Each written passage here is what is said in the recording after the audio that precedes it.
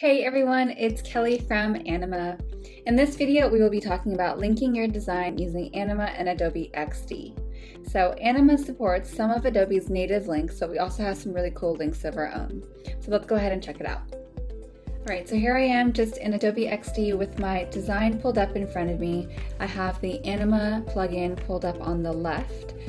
And what you can do is you can go ahead and just head over to the plugin to see which links Anima supports of XDs.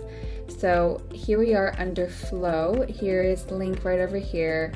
And if I go to the plus icon, this drop down menu will show you what links Anima supports of XDs and what Anima has of their own. Let's start here at the bottom. Previous artboard is going to be supported in XD, so if you connect that using your XD prototyping, it will be supported tap, which is just tap and transition, and then overlays as well. And what you'll want to use for Anima is the scroll to link, also known as anchor link, and then an external URL. So this is very unique to Anima. What you could do is embed a link link to an external web page in your design and when you preview it with Anima it will take you to the external website. So I'm going to show you how to do the external one to link my calendar right here. I can add a link right here and it'll pop up to say external URL and what I'm going to do is just grab my calendar URL and embed it into the design. You can either check to have it open in a new window or you could just have it open in the same window but I wanted to open in a new window. And that's that.